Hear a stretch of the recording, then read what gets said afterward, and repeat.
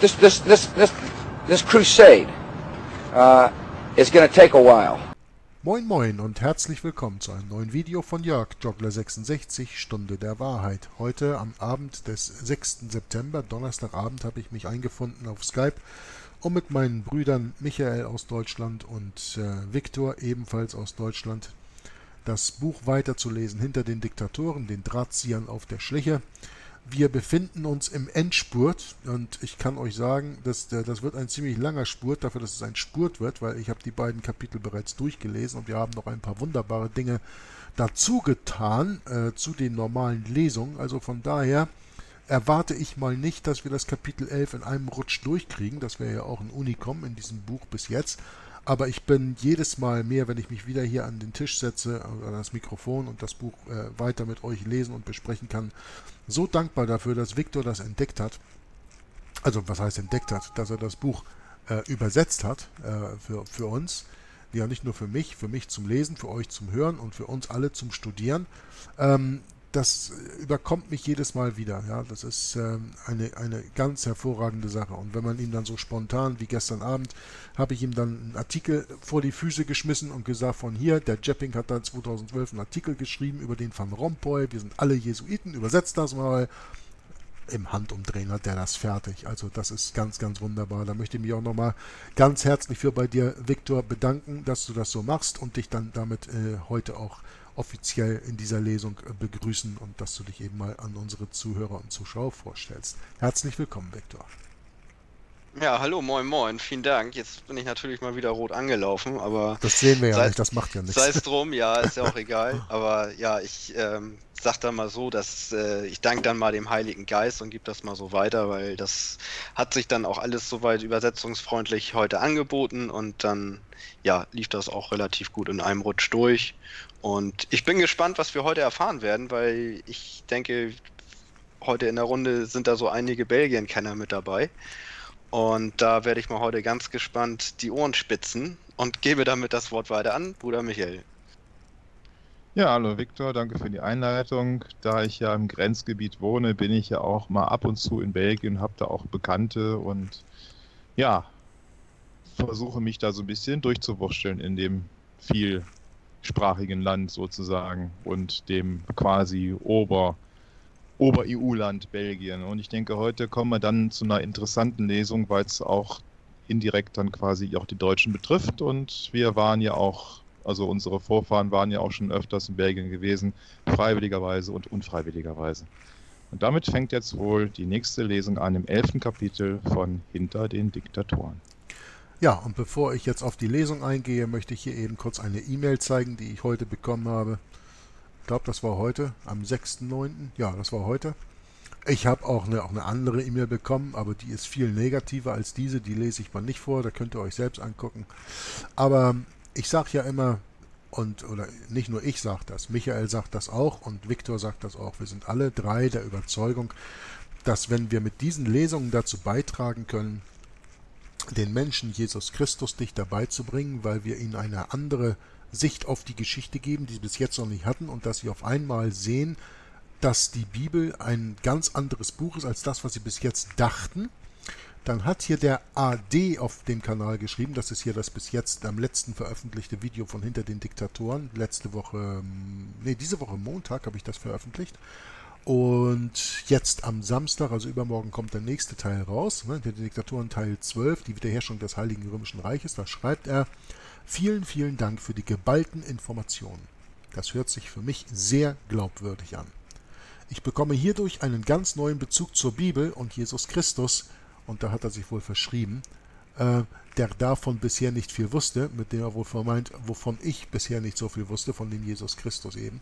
Danke, danke, danke. Und es sind solche E-Mails nicht, aber es sind solche Leute, es sind solche Fälle, dass so etwas passiert, dass Leute sich durch diese Lesungen äh, berufen fühlen, zur Bibel zu finden, zu Gott zu finden oder endlich Gott zu erhören, der bei ihnen schon lange auf die Schulter klopft und dass sie endlich zu der Wahrheit finden. Das ist die Absicht von unseren Lesungen, von unserer Zusammenarbeit. Viktor, der es übersetzt und, und, und, und austippt und ich, der ich das ein bisschen recherchiere, mit Links damit zu und dasselbe, was eben auch der ähm, der Michael macht, der sich da auch mit beschäftigt und immer unser Gast ist beim Lesen. Unsere Absicht ist genau das, dass das passiert, was dem AD hier passiert ist. Und ich möchte ihm ganz herzlich danken dafür, dass er das in einer E-Mail im Kommentar meines Videos uns mitgeteilt hat. Damit wollte ich eben mal beginnen. So, weiß ich nicht, ob Michael jetzt da noch einen Kommentar zu hat, bevor wir dann weiter anfangen. Nö, anscheinend Nö, nicht. Deswegen habe ich ja mein Mikro gemutet. okay, und Victor wahrscheinlich auch nicht. Dann äh, würde ich vorschlagen, fangen wir an. Wir haben heute zu tun mit acht Seiten. Ursprünglich waren das nur fünf. Das kommt eben daher, weil wir da einen extra Anhang zugefunden haben. Nicht, weil wir denken, ach, jetzt wird uns langweilig, wir wollen das Buch jetzt noch nicht zu Ende bringen. Nein, weil ein paar wichtige Dinge aufgetaucht sind, wo wir sagen von, ey, das können wir in das Buch integrieren, das wird die Leute wunderbar interessieren und hat auch einen Bezug zur heutigen Zeit, 2018 oder vor ein paar Jahren zurück, aber trotzdem auch noch zu dieser Zeit heute. Also Kapitel 11 aus dem Buch äh, Hinter den Diktatoren, den Drahtziehern auf der Schliche. Das Kapitel 11 heißt Rexismus und katholische Aktion. Ja, über die katholische Aktion hatten wir ja schon letztes Mal gesprochen. Und was ist jetzt der Rexismus? Das werden wir gleich lernen, vor allen Dingen, wenn wir die beiden Menschen hier in dem Bild sehen. Natürlich den auf der rechten Seite oder linken Seite, je nachdem, wie man das sieht, muss ich nicht besonders vorstellen. Den kennen wir alle, aber den hier, den kennen die meisten wohl nicht. Und das ist genau der, der hier in dem ersten Satz eben vorgestellt wird. Nirgends, sagt der Autor, hat sich die katholische Aktion eher dem Nazifaschismus angeglichen als in Belgien wo Leon de Grelles Rex-Partei 1940 zu ihrer Macht kam. Nun, wer ist dann Leo de Grelle? Ihr habt den Namen wahrscheinlich noch nie gehört. Also gibt es hier zwei Links zu Wikipedia. Der eine geht über den äh, Nationalsozialistischen Nationalverband hier in Belgien, der andere geht über den Rexismus. Das könnt ihr gerne mal lesen. Aber wie gesagt, Immer beachten bei Wikipedia, dass Wikipedia mit ein wenig Vorsicht zu genießen ist. Die sagen euch nie die ganze Wahrheit, aber bestimmte Verbindungen sind da drin. Wer ist nun der Leon de Grell? Ein Auszug aus dem Wikipedia-Artikel liest sich wie folgt: Zitat: Nach dem Zweiten Weltkrieg flüchtete sich de Grell in das französische Spanien.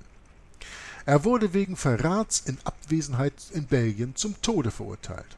Aber wiederholte Ersuchen, ihn auszuliefern, wurden von der spanischen Regierung abgelehnt. Nachdem er seiner Staatsbürgerschaft enthoben und exkommuniziert wurde, und diese Exkommunikation wurde übrigens später in Deutschland aufgehoben, starb er 1994, also 50 Jahre nach Beendigung des Kriegs, in Malaga. Ein weiteres Beispiel dafür, wie die römisch-katholische Kirche ihre faschistischen Führer vor Verfolgung schützt. Wir wissen ja alle, es gibt diese Gerüchte, dass Adolf Hitler in Chile oder Argentinien auch überlebt haben soll bis in die 80er Jahre, Anfang der 80er Jahre letzten Jahrhunderts. Weiß ich nicht, ob ich das glauben soll. Ich habe da noch nie ordentliche Beweise von gesehen. Ich habe mal so ein PDF gelesen über den Bormann. Der Bormann hat da wohl auch überlebt. Das ist vielleicht ganz interessant, kann man sich mal anschauen. Äh, wenn der Viktor oder so mich nachher daran erinnert, dann werde ich das PDF mal aufmachen. Jetzt tue ich das nicht. Dann können wir mal sehen, ob das interessant ist zu lesen. Aber interessant ist, dass wir hier wieder mal sehen, dass der de Grell, der also, wie wir hier sehen, Hitler ja ganz herzlich begrüßt oder von Hitler ganz herzlich begrüßt wird, wie auch immer, eben ein weiterer Vasalle des Nationalsozialismus war, hier dann in Belgien, und dass er unter dem Schutz der römisch-katholischen Kirche bis 1994 trotz Todesurteil aus Belgien überlebt hat. Also nicht der Erste, der da in Schutz genommen wird. Nun, Antichrist Papst Pius XI. gab den Jesuiten-Slogan Christus Rex, Christus der König, als Schlachtruf der katholischen Aktion für seinen Kreuzzug des katholischen Wiederaufbaus und der sozialen Ordnung aus. Ja, wenn eine Fußnote hier farblich angestrichen ist, dann will das sagen von ich muss die lesen, weil da steht, dieser Ausdruck Christus Rex stammt aus den Exerzitien von Ignatius Loyola, dem Gründer der Jesuiten. Und das ist der Slogan, den Antichrist Papst Pius XI. ausgab als Schlachtruf der katholischen Aktion für seinen Kreuzzug des katholischen Wiederaufbaus und der neuen sozialen Ordnung. Derselbe Ausruf Viva Cristo Rey wurde von Francos Faschisten in ihrem Krieg gegen die legitime republikanische Regierung von Spanien benutzt. Es war der Kriegsaufruf der fanatischen mexikanischen Indianer, die von den Jesuiten angespornt wurden, Sabotageakte gegen die republikanische Regierung Mexikos zu begehen. Außerdem war es der Aufschrei der spanischen Rebellen, die mit Hilfe ihrer maurischen Truppen fast 15.000 Männer und Kinder, äh, Männer, Frauen und Kinder in Badajoz folterten, verletzten und auch ermordeten. Die Rex-Anhänger in Belgien hatten die Ehre, die ersten Früchte der katholischen Aktion der christlichen Grenzen Belgiens zu sein. Also katholische Grenzen, übersetzen wir das mal. Ne? Ihr Anführer Leon de Grell hier im Bild. Äh, die belgischen Bauern gaben ihm übrigens den Spitznamen Adolf de Grell, wurde von Monsignore Picard, als er an der Universität von Löwen studierte, für die Bewegung rekrutiert. Löwen, das ist ja, wie ihr wisst, die Stadt, bei der ich hier wohne. Ein paar Kilometer von weg. Kann da Montag meinen Führerschein wiederholen. er und alle seine Assistenten sind von Jesuiten geschult. Ah ja, Leon de Grell ist ein Schüler dieser Herren, also der Jesuiten, alle seine Kollegen gleichfalls, sagt R. A. Dior in seinem Buch Le Vatican äh, aus Paris von 1937 auf Seite 42. Leo de Grell und alle seine Vasallen sind jesuitisch geschult. Ja, über die jesuitische Schulung von Leuten aus Belgien, da haben wir nachher noch ein schönes Extra. Mal sehen, das werden wir wohl heute sehen, so in dem Tempo, wie ich hier durchlese. Ja? Aber erstmal möchte ich eben das Bild hier verändern. Das heißt, das wahre Gesicht des Rex, ne? also le vrai visage de Rex, das wahre Gesicht des Rex, aus dem äh, äh, achtunggebenden, also achtsamen Komitee äh, der intellektuellen Antifaschisten ist das hier ein Plakat. Ja? Das wahre Gesicht des Rex, das wahre Gesicht des Königs. Ja? Okay, äh, lesen wir fort. Er wurde der große Laienapostel der katholischen Aktion im Streben der Jesuiten, die katholische Kirche nach der Zerstörung von Liberalismus und Demokratie mit den nazifaschistischen Plänen für die neue Ordnung in Europa in Einklang zu bringen. Okay? Und behaltet bitte, dass er aus Belgien kommt. Das setzt einen nachher in bestimmten anderen Dingen mal zum Denken an. Ein Schluck von meinem Tee nehmen hier. Ich habe Kirschtee hier. Als der Umfang der Aktivitäten von de Grell zunahm, wurde seine Christus-Rex-Bewegung mit Zustimmung der Hierarchie, also das ist der römisch-katholischen Hierarchie, vorübergehend von der katholischen Aktion in Belgien getrennt. Dieses Manöver sollte dem Rex-Anhänger größere Handlungsfreiheit bei der Ausübung der nazifaschistischen Politik geben. Also ein wenig so etwas wie das, ähm, ähm, wie, sagt, wie, sagt, man das noch, das Ermächtigungsgesetz von Adolf Hitler. Ne? Mehr Macht an dem Rex-Anhänger. Ja? Daraufhin wurde die scheinbar unabhängige Rexistische Volksfront gegründet, angeblich um den jüdischen Kommunismus zu bekämpfen – ähnlich wie Pater Coughlins Christian Front in den Vereinigten Staaten von Amerika das tat. Auf Pater Coughlin muss ich nicht weiter eingehen, da wissen wir inzwischen aus vorigen Lesungen, dass das ein Jesuit war, der in Amerika mit, äh, mit kommunistischen Deutschland, mit propagandistischem Material von Goebbels aus dem Dritten Reich versorgt wurde und mehr als 20 Millionen Folger in den Vereinigten Staaten damals hatte. Aber der jüdische Kommunismus, da kann ich ja nicht umhin, um da mal kurz meinen Senf zu abzugeben in der Form von, wenn der Kommunismus tatsächlich eine Erfindung der Jesuiten ist, wie man anhand der Reduzierung von Paraguay im 17. Jahrhundert ja sehen kann, die wir ja deutlich besprochen habe in, haben in Die verborgene Geschichte der Jesuiten von Edmond Paris, die wir deutlich besprochen haben in dem Buch von Griesinger, ja, dann werden natürlich die Juden wieder an die Front gestellt, damit die Drahtzieher von sich ablenken. Karl Marx von dem wird ja gesagt, er sei ein Jude. Engels, von dem wird gesagt, er sei ein Jude. Und die werden ja international überall propagiert als die, zwischen Anführungszeichen, Väter des Kommunismus. Jüdischer Kommunismus. Und wieder einmal schaffen es die Jesuiten, um die Juden vor ihren Karren zu spannen und dafür zu sorgen, dass Antisemitismus eine auflodernde Flamme ist. Ja? Habt ihr beiden da vielleicht einen Kommentar zu, bevor ich hier weiter fortfahre? Im Augenblick nicht. Na, okay. De Grelles oberster Offizier war der Weißrusse, Weißrusse Denisov, Sekretär des letzten Ratspräsidenten zur Zeit der Zaren. Heute, also das ist zur Zeit, wo der Autor das Buch veröffentlicht, 1942, ist de Grell Hitlers rechte Hand im von Nazis besetzten Belgien, wo keine Anzeichen für Meinungsverschiedenheiten zwischen der katholischen Hierarchie und den Nazi-Eindringlingen erkennbar sind. Wieder gehen wir in eine Fußnote, wo wir lesen, in ihr und ihr innerhalb äh, in und ihr innerhalb der Grenzen internationaler Konventionen zu gehorchen, zitiert aus der Jesuitenzeitschrift Amen, ihrem gemeinsamen Hirtenbrief vom Oktober 1940 wiesen die katholischen Bischöfe Belgiens ihr Volk wie, wie folgt an. Es ist zweifellos notwendig, die Besatzungsmacht als de facto Macht anzuerkennen. So, de facto Macht. Ich habe ja schon, glaube ich, in einem vorigen Video darauf eingegangen, was der Unterschied zwischen de facto und de jure ist. Und ähm, wenn ihr das nicht wisst, dann recherchiert das bitte schön selber.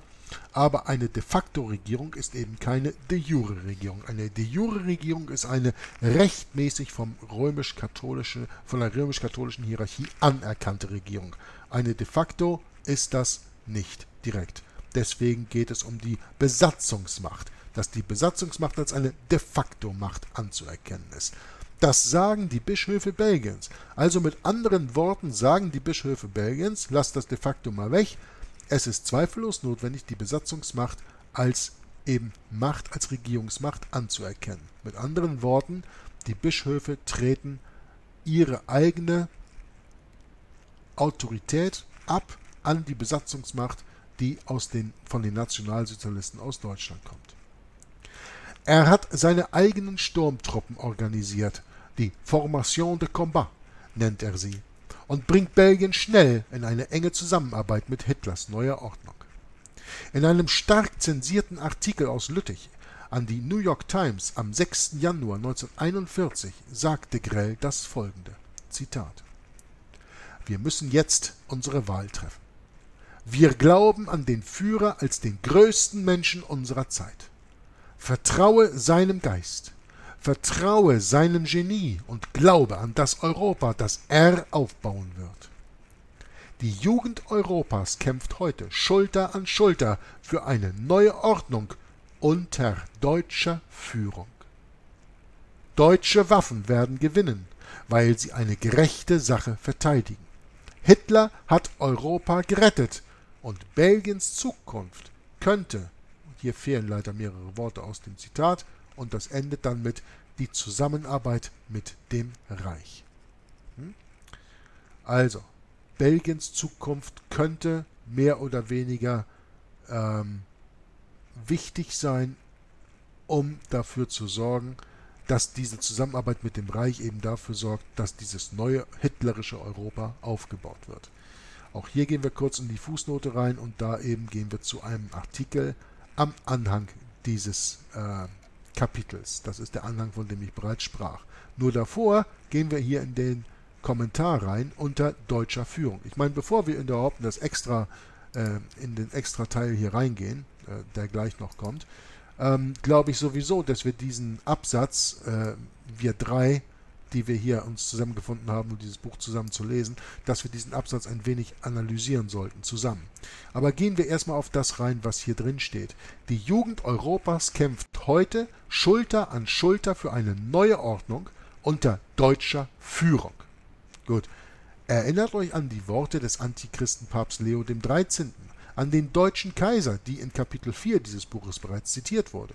Zitat Es war für mich von Interesse, das sagt der deutsche Kaiser in seinen Memoiren, dass der Papst Leo XIII. mir bei dieser Gelegenheit der Audienz sagte, dass Deutschland das Schwert der katholischen Kirche werden muss.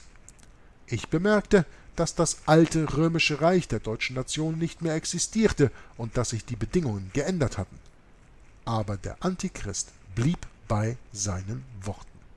Ende des von mir mit extra Worten angefüllten Zitates. Ja? Wir müssen jetzt unsere Wahl treffen.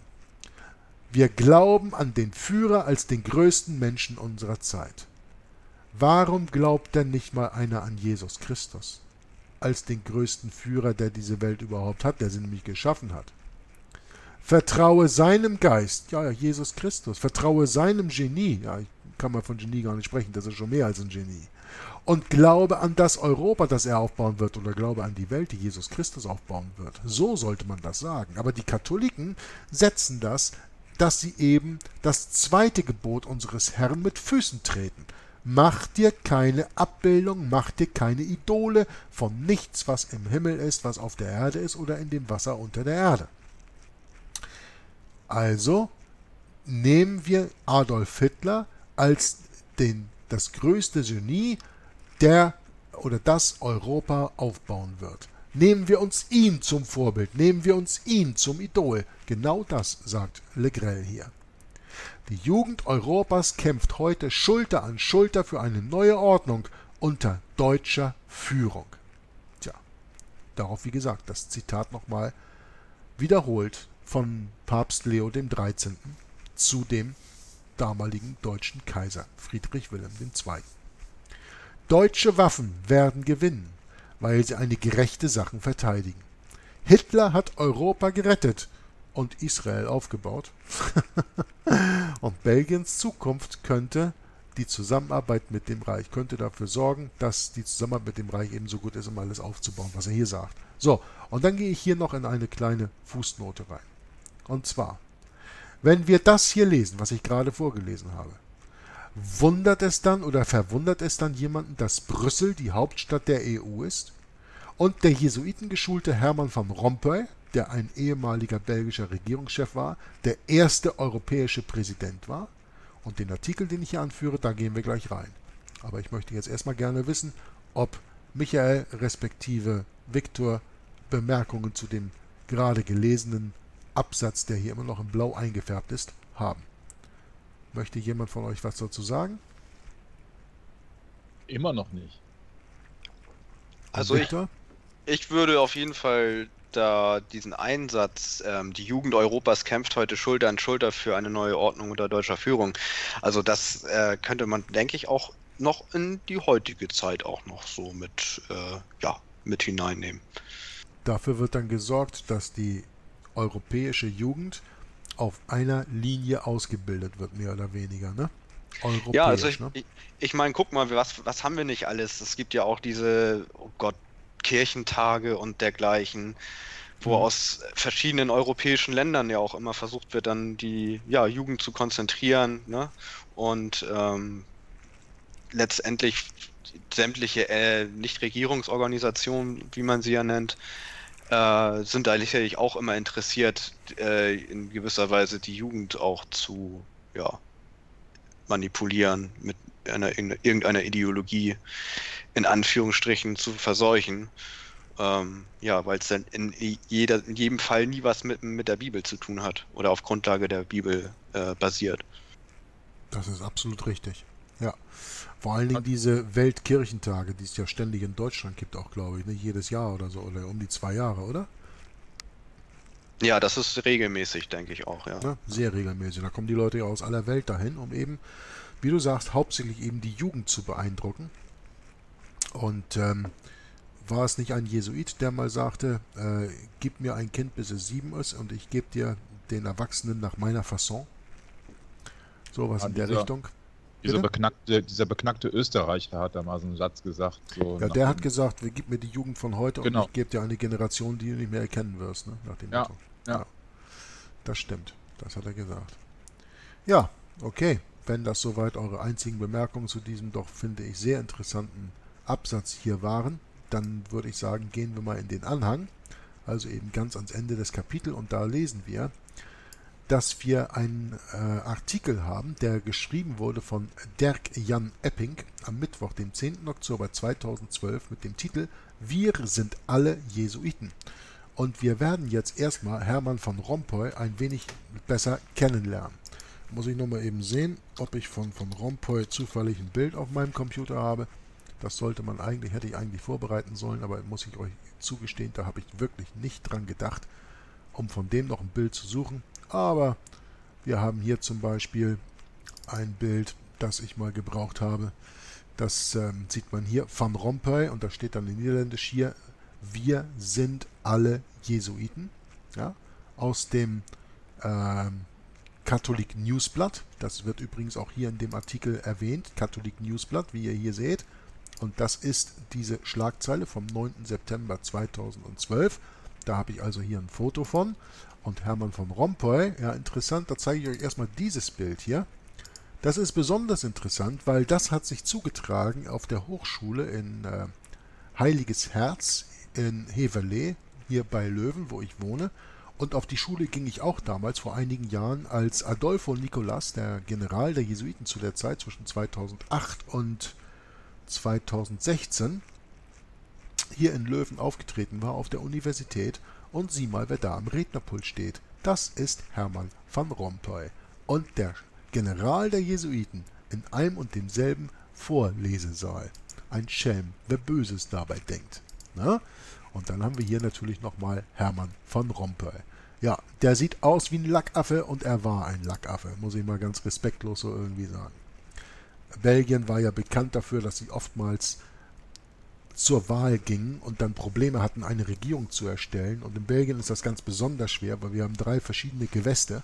Ein deutsches, ein französisches, ein niederländisches Gewäst, äh, zehn verschiedene Provinzen, ähm, die Sprachgrenze zwischen den Flamen und den Wallonen, also die niederländische und die französische Sprachgrenze. Naja, und der von Rompuy war da in den, ich glaube Ende der 90er Jahre oder sowas, hat er sich profiliert als äh, belgischer Premier für, ich glaube, zwei Jahre oder was war der an der Macht. Äh, sein Bruder ist auch heute noch in der CDW, das ist die christlich-demokratische Partei hier in Belgien. Ähm, der sieht so aus und der ist auch so. Also wenn man den mal sprechen hört, da schmeißt man sich weg über die Art und Weise, wie er spricht und das, was er sagt. Na, das werden wir jetzt mal ein wenig in diesem Artikel hier analysieren. Ich lasse das Bild mal eben hier. Das ist also Hermann von Rompuy, dass ihr den kennenlernt. Und wie gesagt, es gibt viele Gründe, äh, Hermann von Rompuy, den Präsidenten des Europäischen Rats, im Auge zu behalten. Wer war Hermann von Rompuy? Es gab Zeiten, als Europa eindeutig die beste Alternative war. Der Krieg war noch nicht lange vorbei, als die Flamen ihre Emanzipation von der Dominanz der französischsprachigen Belgier suchten. Hermann van Rompuy war damals Anfang der 60er Jahre 15 Jahre alt und Schüler des St. Jan Berchmann Colleges im Herzen von Brüssel. Unter den Jesuiten gab es damals zwei Typen. Jene, die sehr flämisch waren, und jene, die mit dem flämischen Nationalismus überhaupt nicht viel anfangen konnten, weil sie, obwohl sie Flamen waren, einen mehr frankophonen Hintergrund hatten. Ihr Gegenmittel hieß Europa. Hermann Achill van Rompuy schlug sich auf die Seite dieser letzteren, der frankophonen Jesuiten, die ihm auf Reisen und in Seminaren das größte aller Nachkriegsprojekte nahebrachten. Zitat Als ich das Kolleg mit 18 Jahren verließ, war ich überzeugter Europäer. Ich würde sagen, er war überzeugter Jesuit. Okay? Sofern Hermann von Rompuy. Und der Artikel kommt aus der Welt. Äh, und den könnt ihr euch dann auch gerne ganz anschauen, wenn ihr wollt. Den Link lassen wir natürlich in dieser Beschreibung, in diesem, in diesem Video mit drin. Also, Anfang September, ja, wir sprechen hier also von Mittwoch, dem 10. Oktober, wo äh, Dirk Jan Epping das geschrieben hat, und Anfang September sprach Van Rompuy mit dem interreligiösen Dialog in Florenz. Die Weltpresse hat's nicht bemerkt. Aber glücklicherweise tat es die Catholic Newsblatt aus Den Bosch. Habe ich euch gerade gezeigt, das Bild. Roms letztes Sprachrohr in den Niederlanden. So wollen sie euch glauben machen.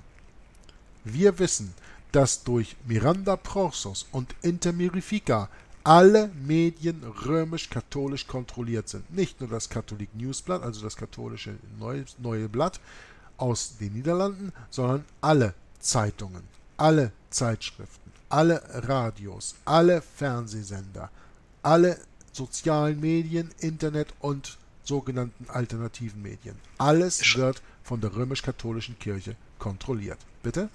Es schreibt ja auch nur noch einer von dem anderen ab, ne? Ja, das ist, das ist eine ganz, wichtig, ganz interessante Sache, Viktor. Da gibt es Videos im Englischen, das muss man sich mal angucken, aus Amerika, Die haben in Amerika, was weiß ich, wie viele verschiedene Fernsehsender. Ja, alleine Fox hat, ich, 35 verschiedene Stück oder sowas. Fox kommt ja von äh, Rupert Murdoch-Konglomerat. Rupert Murdoch ist ein äh, Ritter von St. Gregorius und der Eigentümer von äh, der ganzen Fox äh, News-Kette und so weiter. Und da gibt es in Amerika, also da gibt es Videos auf YouTube, das kann man sich, das kann sich jeder mal anschauen, ähm, wo eine, eine äh, Nachrichtensendung, sage ich jetzt mal, ja, wir wissen ja alle, was wir von Nachrichten zu halten haben. Wir haben da mit Michael schon mal, hatten wir das mal angesprochen, weil wir bei Griesinger in der Lesung waren. Ähm, gibt es diese Nachrichtensendungen, wo sie eine Sache sagen und da, auf, da, kannst du gehen, auf welchen Sender du auch willst. Das eine war mit diesem Schlagwort äh, Pushing the Envelope. Und da hörst du 25, 30 ka verschiedene Kanäle auf CBS, ABC, Fox, NBC, CNN, äh, wie sie alle heißen in Amerika. Alle ihre verschiedenen News-Sendungen, also Neu Neuigkeitssendungen, die gebrauchen exakt denselben Satz. In diesem Fall war das mit Pushing the Envelope. Ich glaube, wenn ihr das in YouTube in die Suchmaschine eingebt, dann könnt ihr das ganz leicht finden. Das ist ganz lustig. Sie sagen alle dasselbe. Wisst ihr, mein Vater hat sich früher immer die Morgenpost gekauft in Hamburg auf der Fahrt zur Arbeit. Und ich habe mir aus Protest allein schon die Bildzeitung gekauft. Jetzt kannst du sagen, die beiden sind natürlich wirklich op oppositionell gegeneinander gestellt. Die Morgenpost ist mehr links, die Bild ist natürlich mehr rechts. ja, ich habe die Bildzeitung angefasst damals, ja, ja. Tagelang schwarze Finger gehabt. Jedenfalls, ähm, aber was die geschrieben haben, waren im Grunde dieselben Nachrichten. Ne? Sie haben hier und da andere Formulierungen gebraucht, aber die Nachrichten, die sie gebracht haben, waren immer dieselben.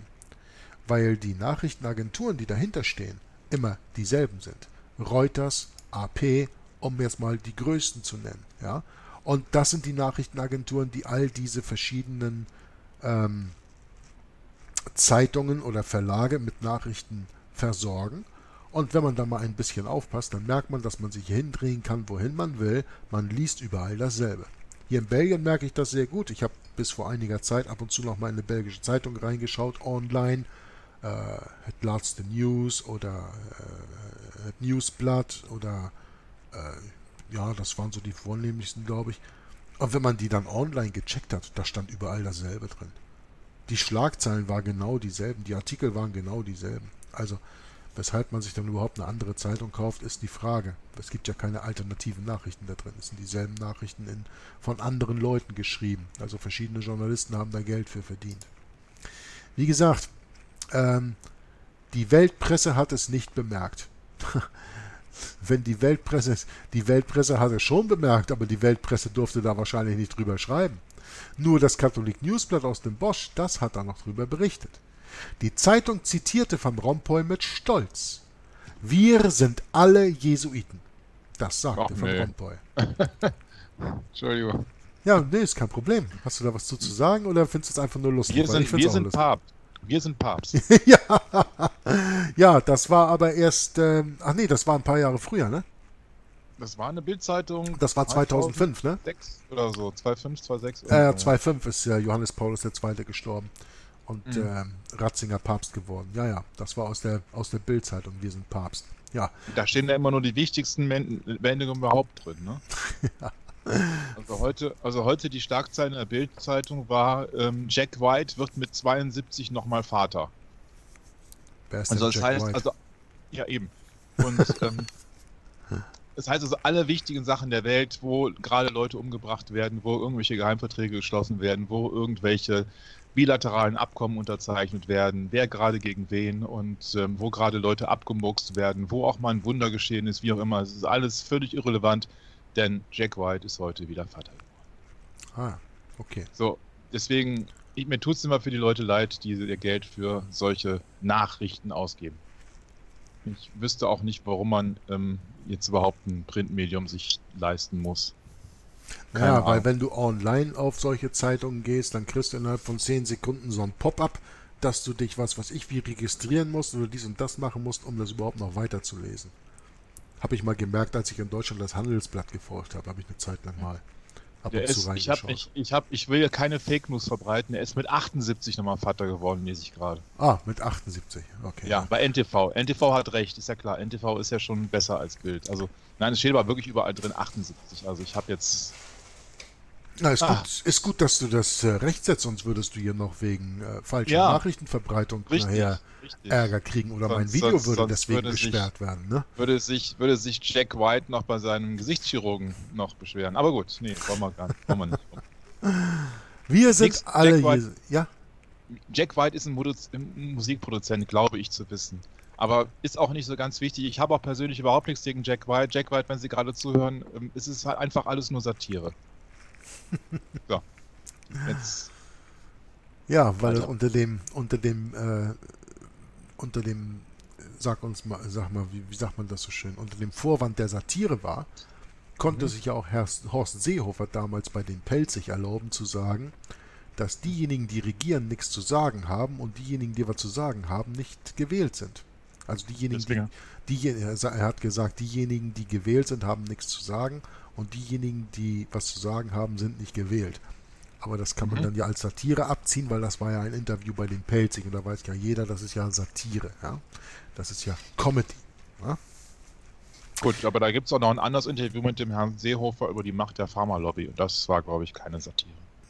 Nee, aber da hat er sich ja auch nicht zu weit aus dem Fenster gelehnt, soweit ich mich über das äh, Video erinnere. Ich glaube, ich habe das auf YouTube mal gesehen.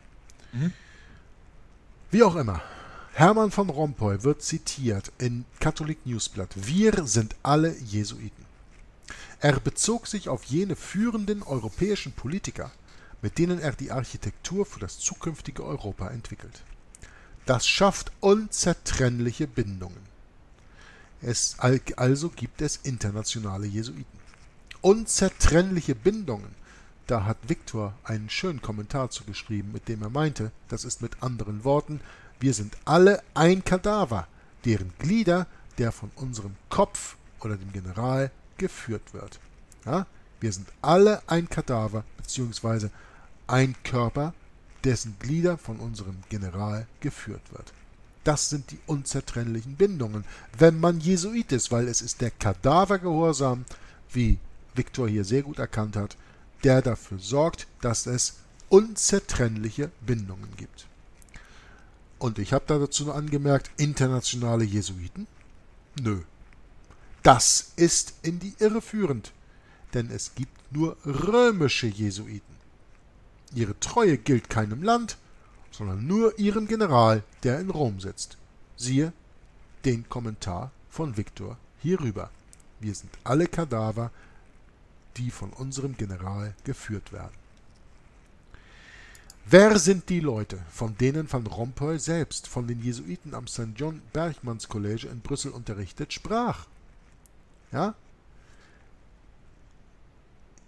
Van Rompuy wurde nicht nur am St. Berchmanns College in Brüssel unterrichtet, er ist auch noch auf eine Jesuitenschule gegangen in der Nähe von Charleroi. Und ich glaube auf noch eine dritte. In total wurde er also die ganze Zeit von Jesuiten unterrichtet. Und wer sind nun diese Leute? Wir sind alle Jesuiten, von denen er da sprach. Das könnte mal interessant werden. Und jetzt kommt die Nachricht. Zuallererst gibt es José Manuel Barroso, Präsident der Europäischen Kommission zu der Zeit. Zweitens gibt es Jean-Claude Juncker, Premierminister von Luxemburg und heute Ratsvorsitzender der EU übrigens 2018. Premierminister von Luxemburg und Vorsitzender der Eurogruppe zu der Zeit. Van Rompuy erwähnt auch den Präsidenten der Europäischen Zentralbank Mario Draghi, der im römischen Jesuitenkolleg Institut Massimiliano Massimo ausgebildet wurde. Der italienische Premierminister zur Zeit Mario Monti und sein spanischer Kollege Mariano Rajoy wurden ebenfalls von Jesuitenkollegien geformt, fügte Van Rompuy fröhlich hinzu. Und jetzt kommt der Satz. Zum Glück, sagt der Autor, gibt es Angela Merkel, die sture Tochter eines Vikars aus der ehemaligen DDR, die als Gegengewicht fungiert. Kommentar. ja, bitte. Ich kann mich nämlich nicht mehr halten Zuerst- vor Lachen. Zuerst, zuerst verließ mich das Glück und dann kam auch noch Pech hinzu. ja. Natürlich gab es in Russland auch keine Jesuiten. Nee. Also in Moskau habe ich bestimmt noch nie jemanden gesehen, der da mit einer Flagge der Jesuiten rumgelaufen ist. Ähm, ja gut, also das war jetzt die Satire und was war jetzt die Nachricht? Naja, Angela Merkel, also eine Tochter eines Vikars, ist inzwischen ja seit 2005, wenn ich mich nicht irre, in Deutschland Kanzlerin. Bundeskanzlerin. Ewige Kanzlerin. Ja, also äh, 13 Jahre und damit länger als Helmut Kohl bereits. Ähm, ja, eines Vikars, also sie machen hier eine Anspielung drauf, dass sie die Tochter eines Pastors ist, also damit einer evangelischen äh, Richtung entsprungen ist. Aber komischerweise ist ihre ganze Schulung jesuitisch kontrolliert gewesen. Deswegen ist sie da, wo sie heute ist. Und wir lesen später noch, dass Van Rompuy und ein paar andere sehr viele Papstaudienzen besuchen. Ich glaube, die Leute haben alle zusammen noch nicht halb so viel Papstaudienzen wie Angela Merkel, die inzwischen hatte. Und die Papstaudienzen kriegt man nicht, um mit dem Papst mal eben sein neuestes Rezept für Pfannkuchen zu teilen. Ne? Ja, die evangelische Kirche Deutschlands macht ja auch nicht wirklich eine andere Politik als die Gegenseite. Nee, aber Angela Merkel ist ja in der CDU und diese sogenannte christlich-demokratische Union, das ist ja kein Geheimnis, vertritt ja nicht den ähm, Protestantismus, vertritt nicht die evangelische Seite der Kirche, sondern vertritt die römisch-katholische Seite der Kirche. Und dann kann sie tausendmal die Tochter irgendeines sturen Vikars sein, wie der Autor das hier sagt. Wichtig ist nur, für welche Seite sie spielt. Und sie spielt für dieselbe Seite wie Mariano Rajoy, wie Mario Monti, wie Mario Drago, wie Van Rompuy, wie Jean-Claude Juncker, wie Manuel Barroso, all die Leute, die wir hier vorher aufgezählt haben, sie spielen alle in derselben Liga, sie ziehen alle am selben Strang und das Problem ist, sie ziehen auch noch alle in dieselbe Richtung.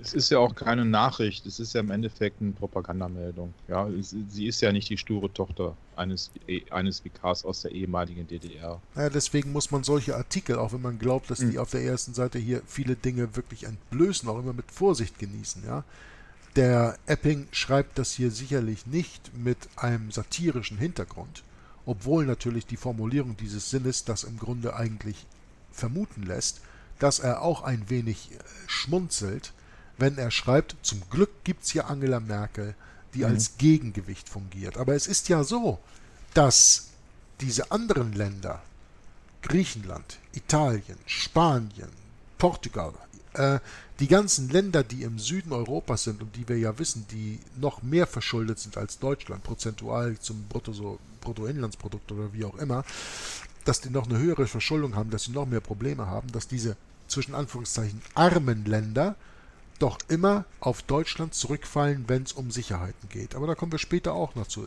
ESM und all solche ganzen Sachen kommt hier auch alles noch zur Sprache. Wir kommen mit diesem Artikel sowieso heute in der Sendung nicht durch, das sehe ich jetzt schon.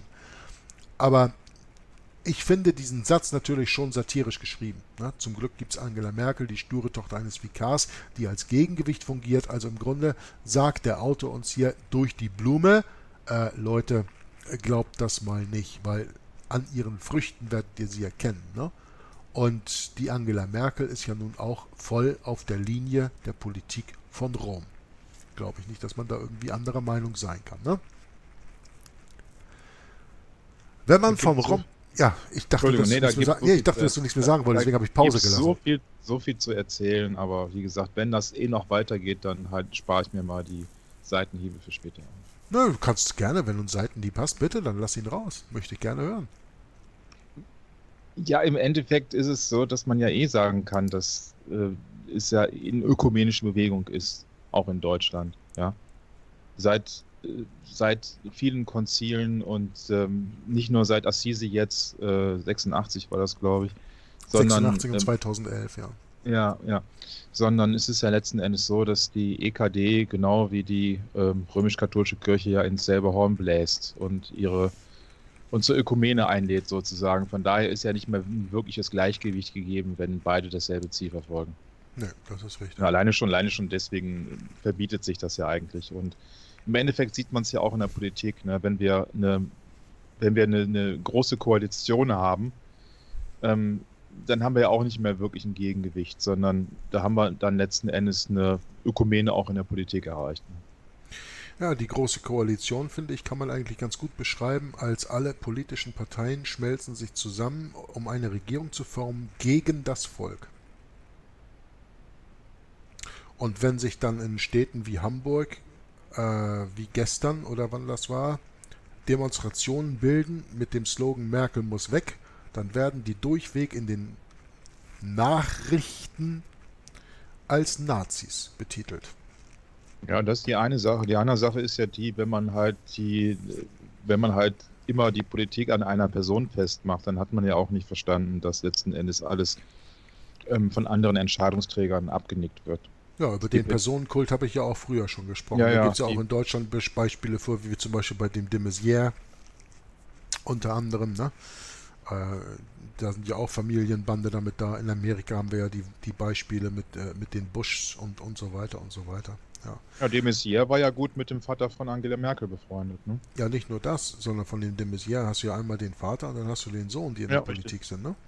Richtig. Du hast ja einmal Naja, es, es ist halt einfach so. der können's ja Lothar war, glaube ich, der Vater und der Thomas war der Sohn oder sowas, wenn ich mich richtig erinnere. Müsste ich, müsste ich jetzt auch nachgucken, aber Ich lebe ja schon seit 30 Jahren nicht mehr in, in Deutschland, also von daher, aber äh, fast 30 Jahre. Naja, drücken wir es drücken wir's mal einfach mal so aus, um auf den Punkt zu kommen. Im Endeffekt sind das alles nur die Marionetten, die da an den Fäden hängen, alles nur die Schauspieler, aber das den Leuten begreiflich zu machen, die jahrzehntelang in so einer Indoktrinationsschleife drin hängen und dann schreien, Wehner ist super und Kohl muss weg und der muss weg und die muss weg. Es hat, es hat sich ja in den letzten Jahrzehnten auch für das Volk nichts Positives geändert und wenn man irgendwann mal zu der Erkenntnis gekommen ist, dass sich an der aktuellen Politik auch nichts verbessern kann, weil es nicht an den Menschen hängt, die da den Kopf dafür hinhalten, im wahrsten Sinne des Wortes, sie werden dafür bezahlt, eine Rolle zu spielen, sondern dass da Agenten, Agenda verfolgt wird und Politik im Hinterstübchen gemacht wird durch die ganzen Lobbyverbände zum Beispiel, um nicht jetzt noch ganz andere Baustellen zu nennen,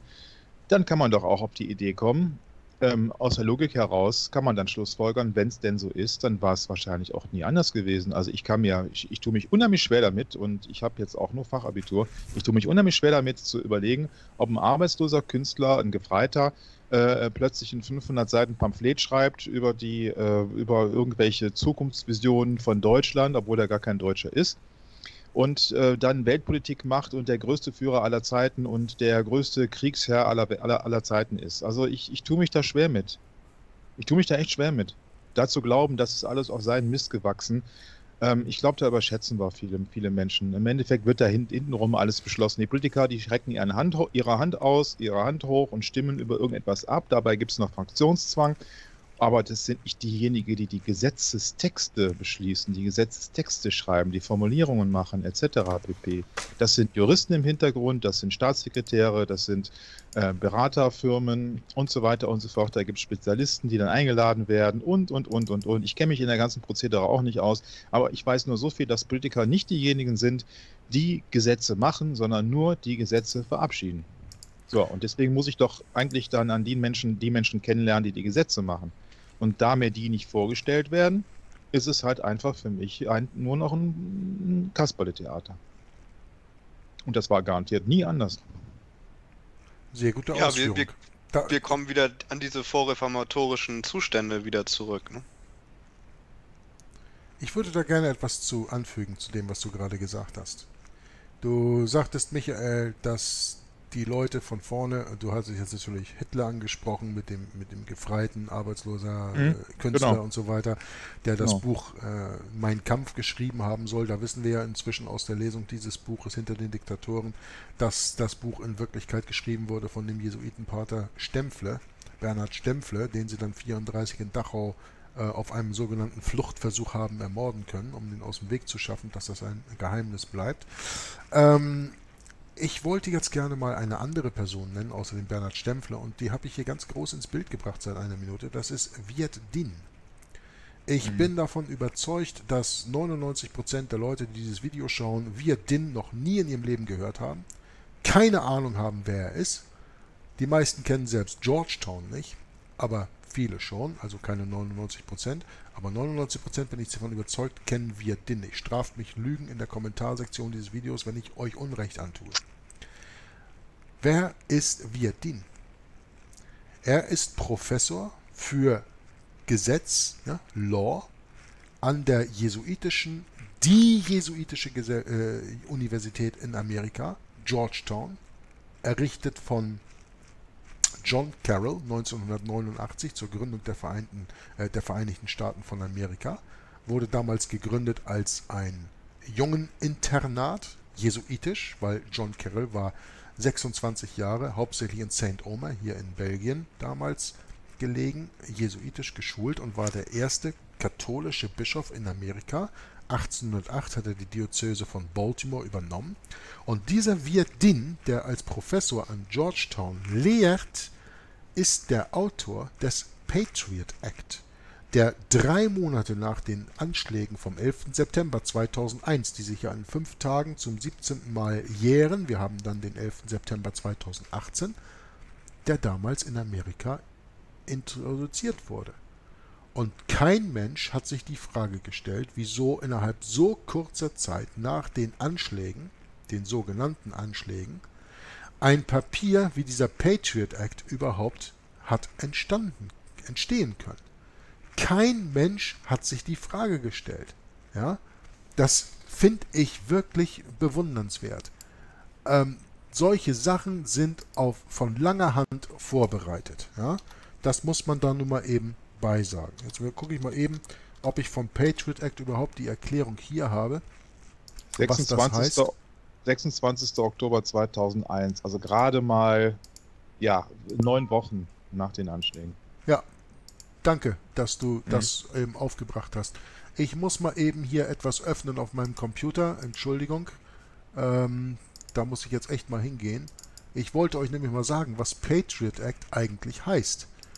Und äh, ich bin davon überzeugt, dass die meisten Leute gar nicht wissen, dass das mit Patriot sein überhaupt nichts, aber auch wirklich überhaupt nichts zu tun hat. Ich hatte das ganz früher mal auf meinem YouTube-Kanal, hatte ich das mal stehen. Schaut mal.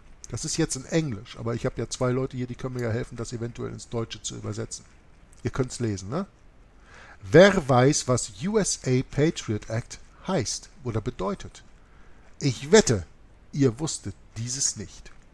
Uniting and Strengthening America, ja, USA, und dann Patriot Act, by providing appropriate tools required to intercept and obstruct Terrorism Act of 2001.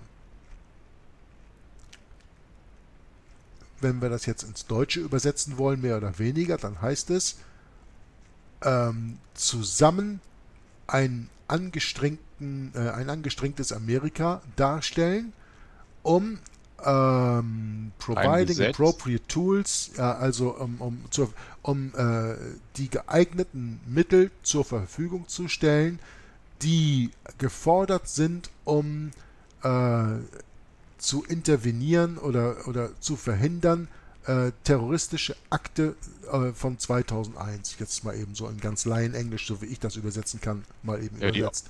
Die, offizielle Übersetzung heißt, also die, die, in Deutsch heißt Gesetz zur Einigung und Stärkung Amerikas durch Bereitstellung geeigneter Instrumente, um Terrorismus aufzuhalten und zu blockieren. Ah, schön, danke schön. Hast du ja wunderbar gesagt. Du brauchst mich ja gar nicht mit meiner, mit meiner kindischen Übersetzung hier. Nein, das, shame on me, ich habe nur abgelesen. Ja, du hast es dann die, die, die Seite geöffnet im Internet. Genau. Das habe genau. ich ja nicht, wie du hier siehst. Ne? Ich kann ja nicht alles machen. Ich bin ja auf euch angewiesen, dafür seid ihr ja hier. Dankeschön, Michael. Das war ein wunderbarer Beitrag, dass du die äh, läppische Übersetzung von mir ein bisschen, äh, ein bisschen besser ausgeführt hast. Aber der Punkt ist doch der. Lass uns nochmal eben zurückgehen zu Vietdin. Dass das also, wie hast du gesagt, sechs Wochen nach 9-11? 26.10., also neun Wochen ungefähr. Neun Wochen. Später. Neun Wochen nach den Anschlägen kommt ein solches Papier raus. Das besteht nicht mal eben aus 50 Seiten, das besteht aus mindestens, ich schätze ich mal so ungefähr 500 Seiten. Das wurde dann damals vom amerikanischen Kongress durchgewinkt. Ja? Die haben nur gehört, oh, Patriot Act, unterzeichnen, unterzeichnen. Gelesen hat das kein, hat das kein Schwein. Ich kann nicht mehr rechnen, sieben Wochen sogar nur. Sieben, er spielt da keine Rolle. Also ich habe gesagt, in weniger als drei Monaten nach 9-11. Das ist ja schon mal schnell genug. Ne? Ob das jetzt sechs oder sieben oder acht Wochen sind oder neun Wochen, das spielt doch im Grunde keine Rolle mehr. Jeder vernünftig denkende Mensch weiß, dass ein solches Papier niemals nach den Anschlägen erst in Auftrag gegeben wurde, Na, komischerweise erscheint das dann, wie du sagtest, acht oder neun Wochen nach den Anschlägen und wird dem amerikanischen Volk als die Lösung präsentiert, um in der Zukunft gegen, die terroristische, gegen terroristische Anschläge vorzugehen. Ein Witz. Das wurde halt geschrieben von dem jesuitischen Gesetzesprofessor an der Georgetown Universität Viet Din. Darum habe ich den hier so schön groß für uns im Bild damit bei. Na? Das mhm. sollte man mal wissen, das sollte man mal bedenken. Und dieser Hermann von Rompuy ist genau wie der Viet Din jesuitisch ausgebildet. Und der sagt, wir sind alle Jesuiten. Wenn man von Rompuy reden, wenn man von Rompuy reden hört, werden sofort die Ähnlichkeiten der Jesuiten mit Europa deutlich. Die Jesuiten bildeten die Avantgarde der katholischen Kirche, sowie sie die europäische Elite, die, sowie die europäische Elite die Vorhut der europäischen Integration ist. Beide stellen sich als die Elite dar, die über die gewöhnlichen Menschen erhaben ist. Ihre Methoden sind sehr ähnlich. Eine raffinierte Lüge oder zweckmäßige Täuschung ist erlaubt, wenn sie im Interesse des größeren Ziels dienlich ist. Ja, der Zweck heiligt die Mittel, das Motto der Jesuiten. Immer und immer wieder kriegen wir das vorgeschüsselt. Ein kaum vorhandener Zynismus ist typisch für die Haltung gegenüber dem normalen Bürger, dem ignoranten Dummkopf, der innerhalb einer Demokratie vor sich selbst geschützt werden muss. Also nicht vor Terrorismus, sondern vor sich selbst. Die katholischen und europäischen Eliten sind durch innere Kreise miteinander vernetzt. Und jetzt kommt der Satz, den bereits Michael vor einer halben Stunde bereits mal gesagt hat. Der Rest ist Theater. Van Rompuy, Barroso, Monto und, Monti und Rajoy sind häufige Besucher der Papstaudienzen. Googelt mal Bilder mit Van Rompuy Papst, Barroso Papst, Monti Papst, Rajoy Papst. Ihr kriegt Bilder genug. Und mit Angela Merkel übrigens auch. Wie gesagt, die war wahrscheinlich öfter da als diese vier zusammen. Und ich denke, das ist ein guter Moment, um die Lesung für heute am Ende der Seite 6 von 8 in äh, diesem Extra äh, in dem 11. Kapitel von Hinter den Diktatoren, um das zu beenden.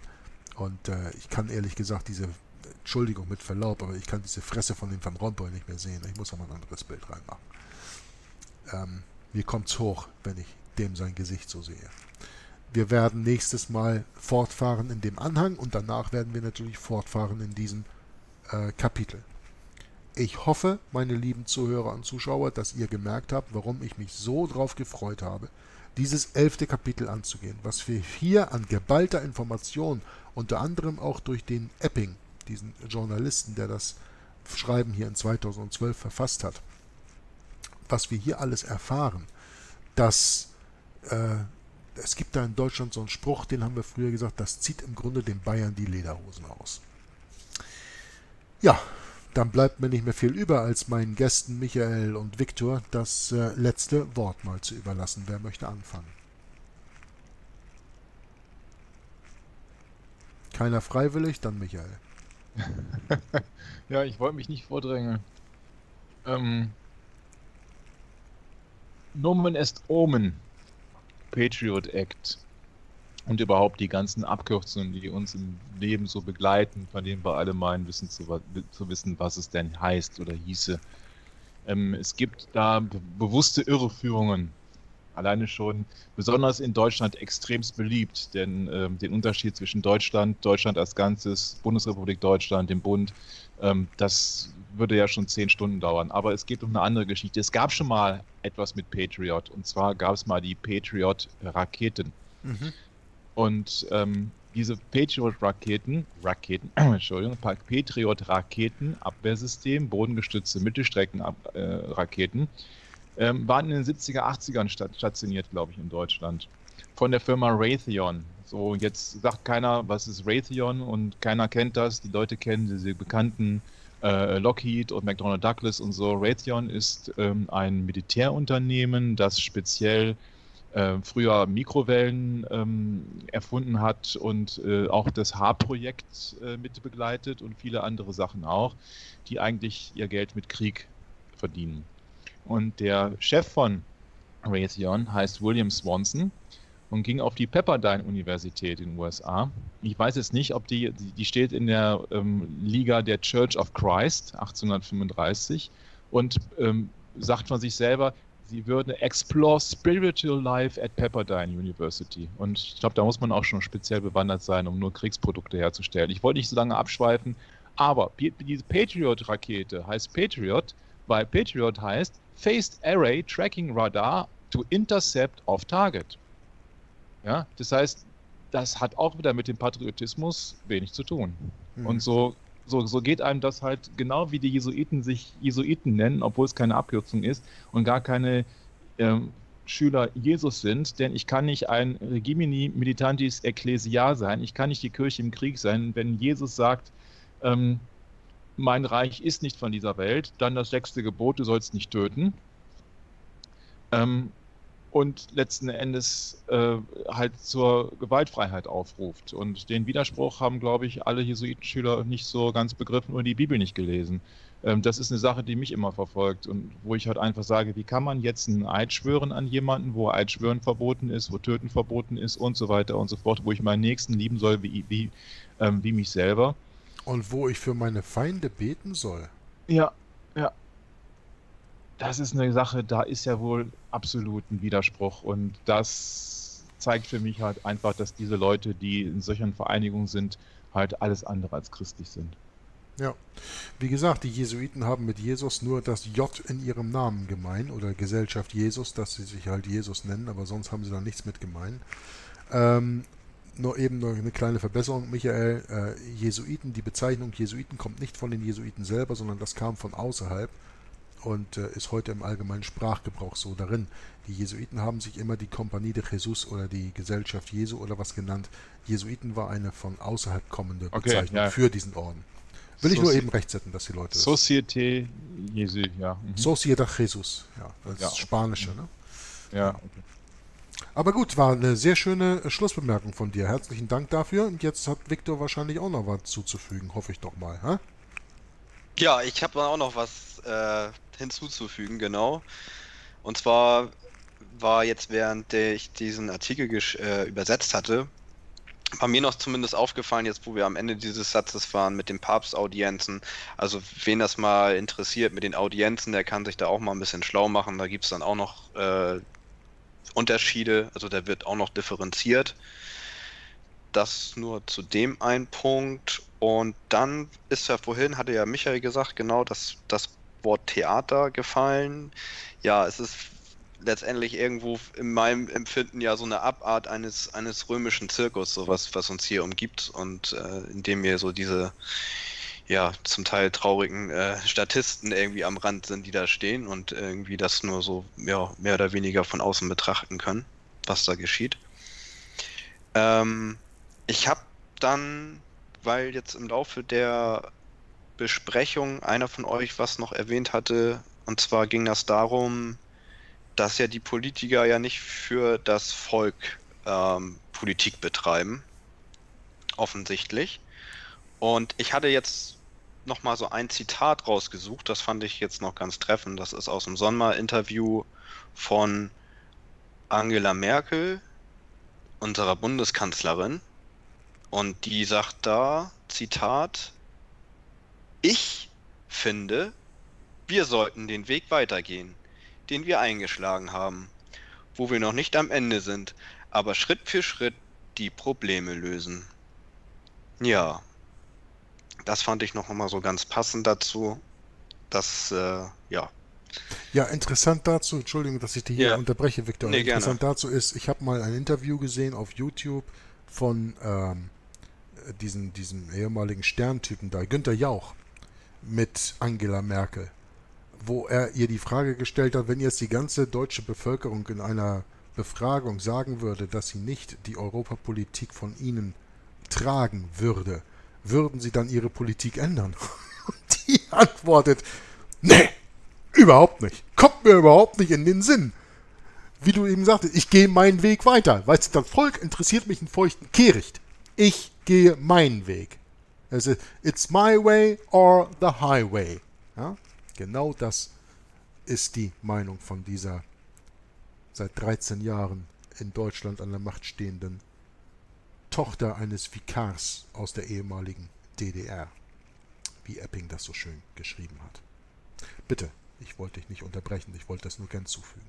Ja, vielen Dank für die Ergänzung. Ich denke, das kennen vielleicht auch viele und sonst, wenn das niemand kennt, der kann mal bei YouTube, da findet man, denke ich, da noch die, die passenden äh, Videos aus, so ein Auszug aus so einem längeren Interview, glaube ich, ist das gewesen. Ne? Mhm, mhm, und äh, ja, ist auf jeden Fall auch mir jetzt gerade auch nochmal in Erinnerung gerufen. Also ja, sieht, ist auch mal so ein Paradebeispiel gewesen.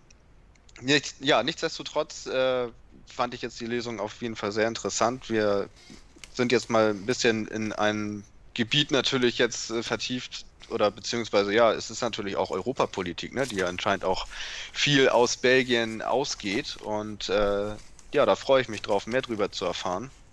Und äh, sag dann Tschüss, bis zum nächsten Mal. Ja, Viktor, gut. Ich möchte noch eine kleine Schlussbemerkung machen. Ich hatte ja eben kurz den Günter Jauch angeführt, der ein Interview gemacht hat, gemacht hat mit ähm, Angela Merkel. Günter Jauch hat ja jahrelang in Deutschland auf, ich glaube, RTL-Fernsehen oder sowas eine, eine Sendung gehabt, die hieß Stern TV. Stern TV nach Anleitung des deutschen äh, Magazines Der Stern. Ich habe hier bereits seit ein paar Jahren eine Ausgabe liegen, die ich bei meinem deutschen Zahnarzt hier in Brüssel mal mitnehmen durfte. Ähm, das ist die Ausgabe vom 14.02.2013. Das könnt ihr gerne im Internet googeln, die werdet ihr nicht finden. Die ist komischerweise als einzige so ungefähr nicht online zu finden. Wo auf der Titelseite steht Respekt neben dem Bild von Kardinal Ratzinger, der damals ja schon äh, am 14.02.2013 eben Papst war und hier eben zurücktritt. Und da steht Respekt. Papst Benedikt XVI. Beschreibt, äh, schreibt mit seinem Abgang Geschichte, ein Rückblick in Bildern.